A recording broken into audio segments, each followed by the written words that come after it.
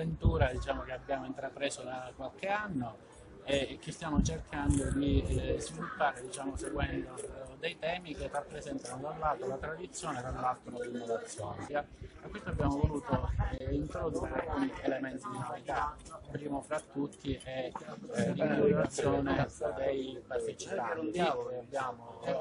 deciso con eh, condivisione sul piano internazionale eh, di eh, invitare gruppi eh, che rappresentano eh, patrimoni iscritti nella lista dell'UNESCO. Eh, devo dire che eh, abbiamo avuto 22 adesioni, ma abbiamo dire, in qualche modo dovuto stoppare altre richieste per per contenere anche i costi complessivamente, eh, però il fatto che abbiamo avuto tantissime richieste vuol dire che il format sta funzionando e che è apprezzato eh, sul piano eh, internazionale. L'articolazione eh, l'abbiamo pensata in tre fasce, quindi il, la, la prima, il primo weekend eh, sarà dedicato ai bambini. Eh, dopodiché la parte centrale della settimana sarà dedicata al cibo con eh, Mandorlara che coinvolgeranno le, le scuole alberghiere e altri istituti scolastici. La parte finale sarà quella tradizionale e con una particolare accentuazione che riguarda le modalità anche di conferimento del Tempio d'Oro che non verrà dato a, a, in una dimensione competitiva ma sarà il pubblico, quindi una votazione popolare, che giudicherà il gruppo che saprà meglio raccontare ed esprimere il, il patrimonio identitario che viene rappresentato. Ci siamo inizi a lavorare per la 64esima edizione del Bando del Fiore che vedrà Agrigento sempre protagonista dal 1 di marzo al 10 di marzo con diverse novità. Sì, quest'anno abbiamo presentato già in Mandorlo questa primavera a Roma, alla sede di San Presti, quindi abbiamo cominciato a lavorare già da quando era finita la lezione 73.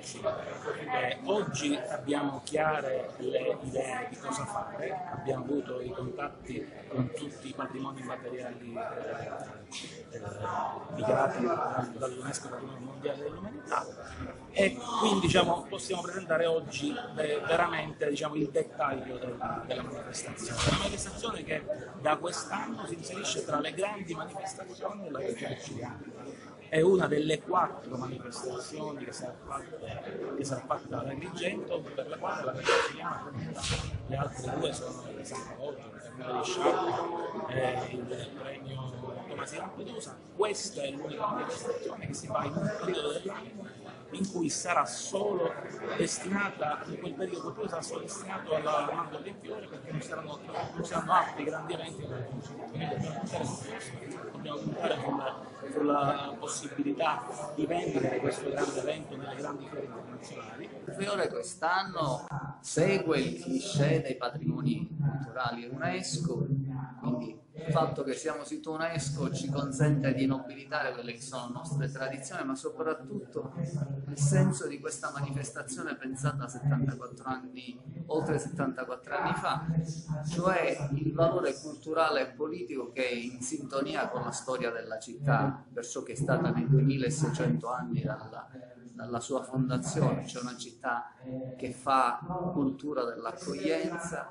che fa accoglienza della cultura, che realizza sedimentazioni culturali.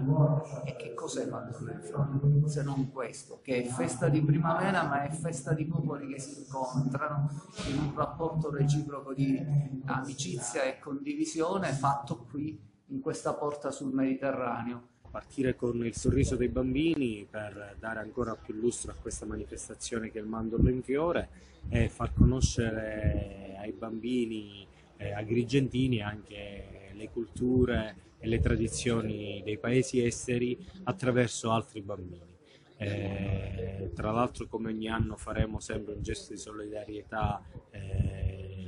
all'ospedale pediatrico di Agrigento con un gruppo che sarà presente e poi naturalmente alla varie manifestazioni come eh, nei canoni di ogni anno con la passeggiata della pace lungo la Valle dei Templi, il premio Claudio Crescenzo e le varie spe- spettacoli sfilate.